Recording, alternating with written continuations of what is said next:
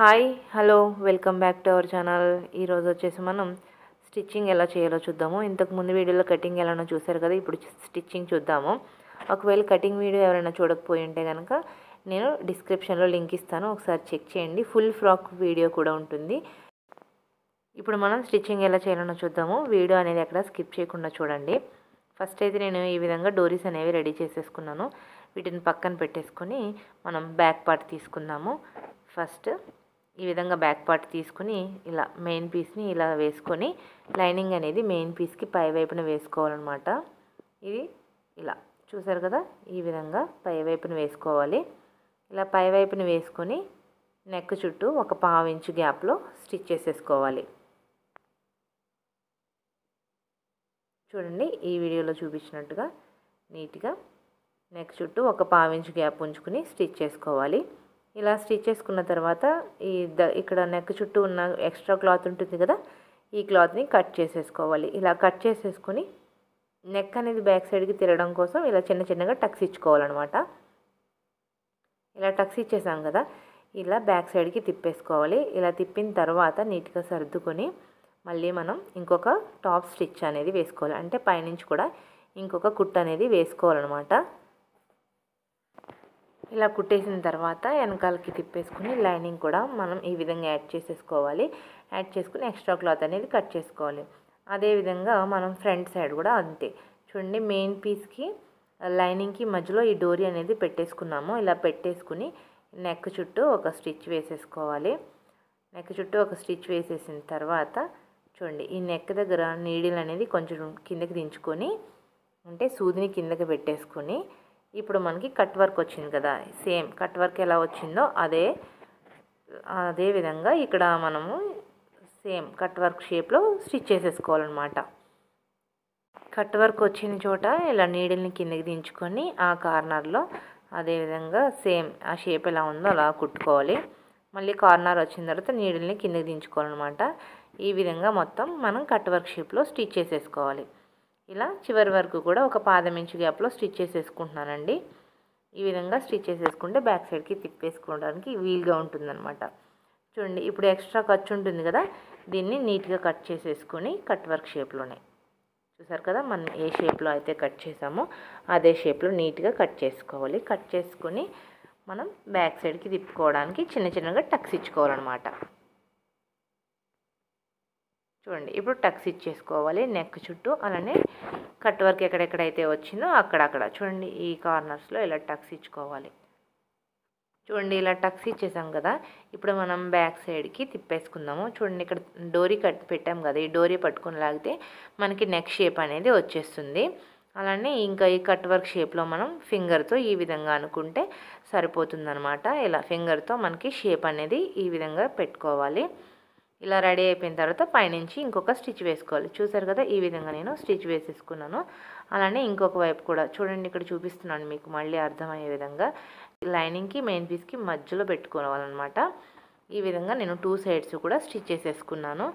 ఇలా మనకి front part అనేది రెడీ అయిపోయింది. ఇప్పుడు మనం బ్యాక్ పార్ట్ చూద్దాము. ఇక్కడ మనం బ్యాక్ పార్ట్ వచ్చేసి ఇలా చూసుకోండి ఒకసారి. బ్యాక్ పార్ట్ని కింద వేసేసుకుని ఫ్రంట్ పార్ట్ని పై వైపున వేసుకోండి. ఇక్కడ పై వైపున వేసుకున్న తర్వాత చూడండి కింద వైపు వచ్చేసి మనకి కొంచెం గ్యాప్ ఉంది కదా. మనం పెట్టి తిప్ తిప్పలేదు కాబట్టి మనకు ఆ గ్యాప్ అనేది వచ్చేసింది.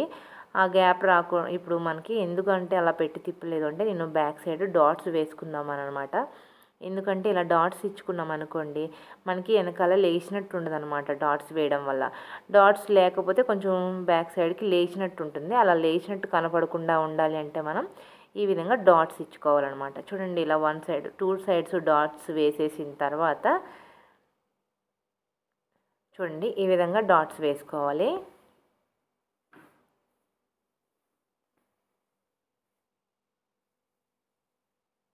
ఇలా డాట్స్ వేసాం కదా డాట్స్ వేసేసిన తర్వాత ఇలా ఒక క్లాత్ తీసుకున్నాను. Cotton cloth lining one inch one and half inch అలా పెట్టేసుకున్నాను. ఎందుకంటే నేను బ్యాక్ సైడ్కి ఫోల్డ్ చేసి స్టిచ్ చేసేస్తాను కదా అందుకోసం ఇలా బ్యాక్ ఈ పీస్ అనేది తీసుకున్నాను. చూడండి ఇక్కడ నేను ఫస్ట్ అయితే ఒక పాదం ఇంచు గ్యాప్లో స్టిచ్ చేసేసుకుంటున్నాను.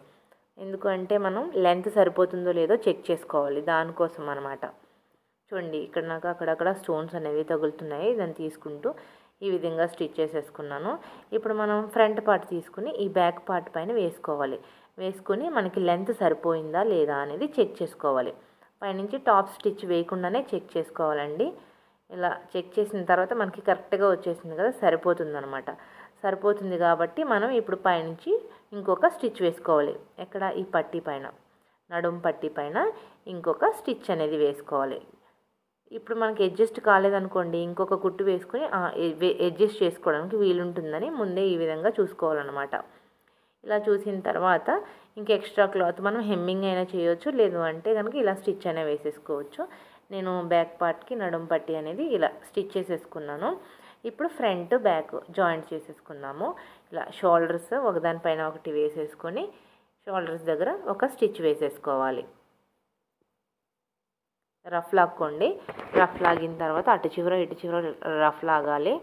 ఇక్కడ కూడా సేమ్ అంతే. ఇంకా ఇక్కడ కూడా రఫ్ లాగేసుకొని వేసేసుకోవాలి. ఒక పాదం ఇంచు గ్యాప్లో వేసుకోవాలన్నమాట. ఇంకొక స్టిచ్ కూడా వేసుకోవాలి. డబుల్ స్టిచ్ వేసుకోవాలన్నమాట షోల్డర్స్ దగ్గర ఎప్పుడు కూడాను. ఇప్పుడు ఈ విధంగా మనకి ఫ్రంట్ బ్యాక్ జాయింట్ అయితే అయిపోయింది. ఇంకా హ్యాండ్స్ చూడాలి ఇప్పుడు మనం కదా. ఇప్పుడు మనం హ్యాండ్స్ కోసం ఆల్రెడీ కటింగ్ చూసారు కదా ఇప్పుడు హ్యాండ్స్ కూడా నేను లైనింగ్ అనేది యాడ్ చేసుకున్నాను. యాడ్ చేసేసుకుని మనకి టక్స్ ఇచ్చుకున్నాం కదా ఎక్కడి నుంచి ఎక్కడి వరకు కావాలి అనేది అక్కడి నుంచి మనకి ఫ్రిల్స్ అనేవి పెట్టడం స్టార్ట్ చేయాలన్నమాట. టక్స్ ఇచ్చుకున్నాం కదా ఆ టక్స్ దగ్గర నుంచి ఫ్రిల్స్ అనేవి పెట్టడం స్టార్ట్ చేసుకోవాలి.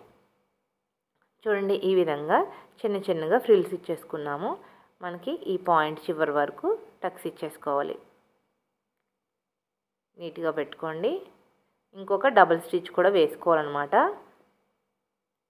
ఇలా టూ స్టిచెస్ వేసేసిన తర్వాత ఇప్పుడు మనకి కింద పట్టీ వేద్దాం అనుకున్నాం కదా ఆ పట్టీ కోసం ఇది వచ్చేసి వన్ ఇంచ్ పట్టీ అనమాట తీసుకున్నాను. టూ ఇంచెస్ క్లాత్ తీసుకొని ఒక వన్ ఇంచ్కి క్లా పట్టీ అనేది వేసుకుంటున్నాను అనమాట చూడండి ఈ విధంగా కింద వైపున పెట్టేసుకుని పై వైపుకి తిప్పుకోవాలి.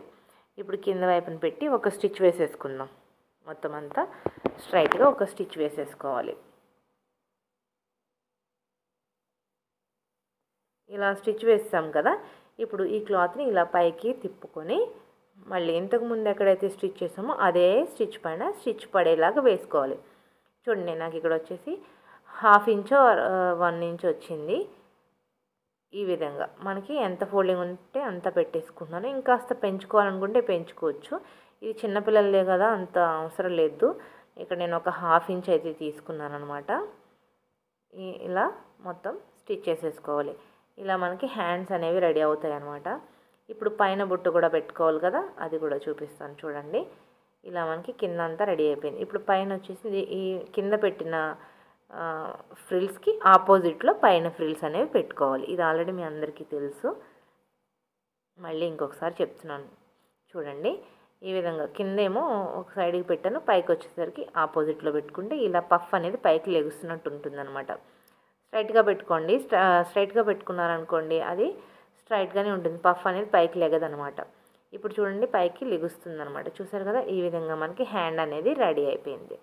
మనం ఎప్పుడు పఫ్ హ్యాండ్స్ అంటే ఆపోజిట్లో పెట్టుకోవాలి. ఫ్రిల్స్ అనేవి ఆపోజిట్లో పెట్టుకోవాలి. ఇప్పుడు మనం ఇలా షోల్డర్ జాయింట్ చేసుకున్నాం కదా? ఇప్పుడు మనకి హ్యాండ్ జాయింట్ కూడా చేసేసుకోవాలి. చూడండి ఇక్కడ వచ్చేసి హ్యాండ్ వచ్చి పఫ్ హ్యాండ్స్ తీసుకున్నాం కదా ఈ పఫ్ హ్యాండ్స్ మిడిల్ నుంచి పెట్టుకోవాలన్నమాట.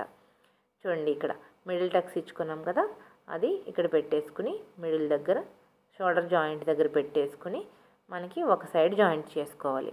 తర్వాత ఇంకొక సైడ్ టర్న్ చేసుకుని ఇంకొక వైపు స్టిచ్ చేసుకోవాలన్నమాట. ఇక్కడ ఎక్స్ట్రా ఏదైనా క్లాత్ వచ్చింది అది కూడా మనం ఫ్రిల్ పెట్టేసుకుంటే సరిపోతుంది. కట్ చేయని అవసరం లేదు. చూడండి ఇది కూడా అంతే. ఇటువైపు చూసుకుని నీట్గా స్టిచ్ చేసుకోవాలి. సరిపోతే ఓకే. సరిపోకుండా ఎక్స్ట్రా వచ్చింది అనుకోండి మళ్ళీ మనం అది కూడా ఫ్రిల్స్ కింద పెట్టేసుకుంటే సరిపోతుందనమాట పఫ్ అనేది ఎక్కువ వస్తుంది అనమాట చూడడానికి బాగుంటుంది. చూడండి నాకు టూ సైడ్స్ సమానంగా వచ్చేసినాయి. స్టిచ్ చేసుకున్నాం కదా ఇలా హ్యాండ్ అనేది. ఇప్పుడు ఇంకొక స్టిచ్ వేసేసుకుందాం. పైనుంచి ఇంకొక స్టిచ్ వేసుకోవాలి. ఇలా. మనకు చూసారు కదా హ్యాండ్ అనేది ఈ విధంగా రెడీ అయిపోయింది. చూడండి ఎంత నీట్గా వచ్చేసిందో. అదేవిధంగా మనం టూ హ్యాండ్స్ కూడా ఇలా స్టిచ్ చేసేసుకోవాలి. ఇలా టూ హ్యాండ్స్ స్టిచ్ చేసేసుకున్న తర్వాత సైడ్ జాయింట్ చూద్దాము. ఇక్కడ చూడండి ఫస్ట్ అయితే మనం పై వైపు నుంచి ఒక కుట్టు వేసుకుందాం. చూడండి ఈ విధంగా. ఇవంతా నీట్గా సర్దేసుకోండి సైడ్కి. ఇలా సర్దిన తర్వాత ఇక్కడ నుంచి ఒక సైడ్కి బాగా చివరికి వేసుకుంటున్నాను ఒక స్టిచ్ అనేది. ఇక్కడ చూడండి ఫ్రంట్ బ్యాక్ స్టీజ్గా సమానంగా పెట్టేసుకొని స్ట్రైట్గా స్టిచ్ చేసుకోండి. స్టిచ్ చేసిన తర్వాత ఎక్స్ట్రా క్లాత్ ఉంటుంది కదా దీన్ని కట్ చేసేసుకోవాలి. చివరికంటూ కట్ చేసుకోవాలి. ఇలా కట్ చేసిన తర్వాత చూడండి బ్యాక్ తిప్పితే ఈ విధంగా ఉంటుందన్నమాట మనకి. నేను టూ సైడ్స్ కూడా స్టిచ్ వేసేసుకున్నాను. ఇలా బ్యాక్ తిప్పేసిన తర్వాత మనకి ఇక్కడ హ్యాండ్ లూజ్ చూసుకొని చెస్ట్ లూజ్ కూడా చూసుకొని మనం స్ట్రైట్గా ఒక కుట్ట అనేది వేసేసుకోవాలన్నమాట. చూడండి ఈ విధంగా. మొత్తం రెడీ అయిన తర్వాత ఈ విధంగా ఉంది. నేను టూ సైడ్స్ స్టిచ్ వేసాను. తర్వాత ఇక్కడ ఫ్రంట్ వచ్చేసి మనకి ఇలా బెల్స్ పెట్టుకుందామని కొంచెం క్లాత్ ఉంటే దాన్ని కూడా ఈ విధంగా పెట్టేసుకుంటున్నాను బెల్స్ లాగా పెట్టుకుంటున్నాను అనమాట ఈ విధంగా మనకి కోట్ అయితే స్టిచ్చింగ్ అయితే అయిపోయింది. ఎవరైనా కనుక ఫస్ట్ టైం కనుక నా ఛానల్ని చూస్తున్నట్లయితే లైక్ చేయండి షేర్ చేయండి సబ్స్క్రైబ్ చేయండి.